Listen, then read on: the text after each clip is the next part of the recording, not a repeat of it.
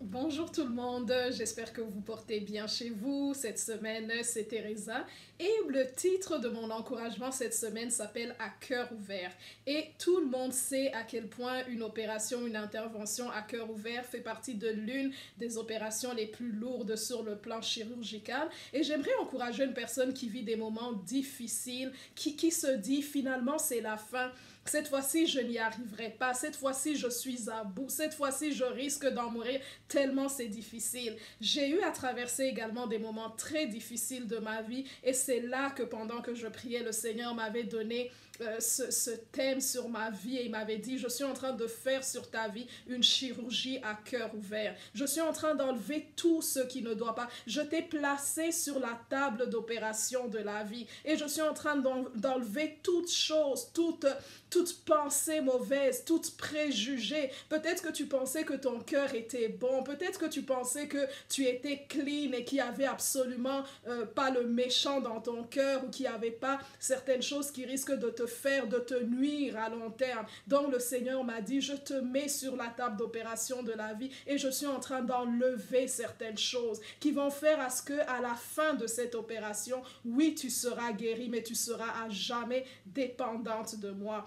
Dieu nous place des fois sur la table d'opération de la vie. Il nous fait une chirurgie à cœur ouvert. Il nous fait une chirurgie à cœur ouvert pour que même lorsque nous serons guéris, nous soyons totalement dépendants de lui. Je, je, je, je, vous exhorte à lire un texte qui est dans 1 et 2 Samuel, l'histoire du roi David que la plupart d'entre nous nous connaissons. Il vit son petit train-train quotidien, c'est un jeune homme heureux que, dont l'activité la, principale était de paître les brebis de son père. À un moment donné, il rentre à la maison, il y a un dignitaire qui attend pour souper et ce dignitaire n'était nul autre que le prophète Samuel qui venait pour déclarer que ce jeune homme deviendrait le roi de tout Israël. Je peux m'imaginer euh, la joie, mais aussi le questionnement et la fébrilité qui pouvait euh, jaillir dans le cœur de ce jeune enfant parce qu'il était encore très jeune. Mais du moment où on a déclaré cette parole, à partir du moment, entre le moment où cette parole avait été déclarée sur sa vie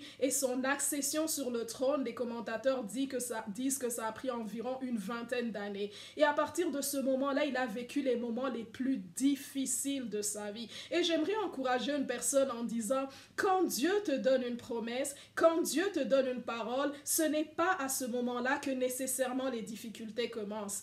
Mais c'est à l'inverse, c'est quand Dieu sait que tu vas commencer à vivre certaines difficultés dans ta vie, que tu vas vivre certaines épreuves dans ta vie, pour que tu tiennes ferme, il te donne au préalable une promesse, pour que tu lises l'introduction de ton livre en connaissant, en en connaissant déjà la fin, la conclusion et le dénouement.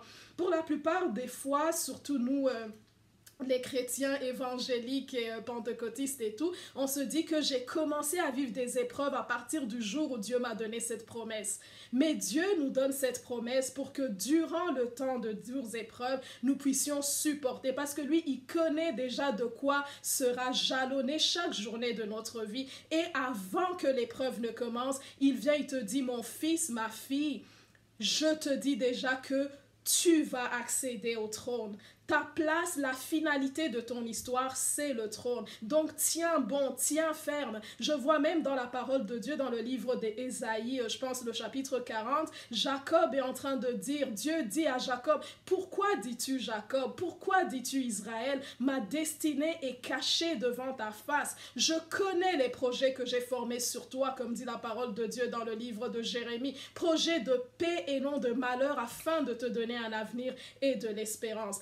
J'aimerais encourager encore une fois une personne. Dieu nous place sur le, le, la table, sur la table d'opération de la vie, afin de faire une chirurgie à cœur ouvert, afin que lorsque nous accédions à la promesse qu'il nous a faite, pour que nous ne puissions pas la perdre à cause peut-être de notre tempérament, à cause de notre caractère, ou bien parce qu'on ne sait pas gérer certaines choses qui nous confieraient. Donc c'est ça que je voulais te dire cette semaine, que Dieu te bénisse et que Dieu te garde, et puis Dieu te donne sa promesse pour que tu puisses voir la finalité de ce qui t'attend pendant que tu es en train de cheminer et vivre des moments difficiles et te dire que cette fois-ci c'est trop, cette fois-ci je ne pourrai pas tenir, c'est tellement difficile. Et encore une fois, voilà la nécessité de bâtir sur le roc. Parce que des fois nous avons des rêves, mais comme dit la Bible, nous les bâtissons sur le sable. Nous bâtissons notre château sur le sable, mais le roc que la parole nous a donné, c'est Jésus-Christ. Et lorsque nous bâtissons sur le roc,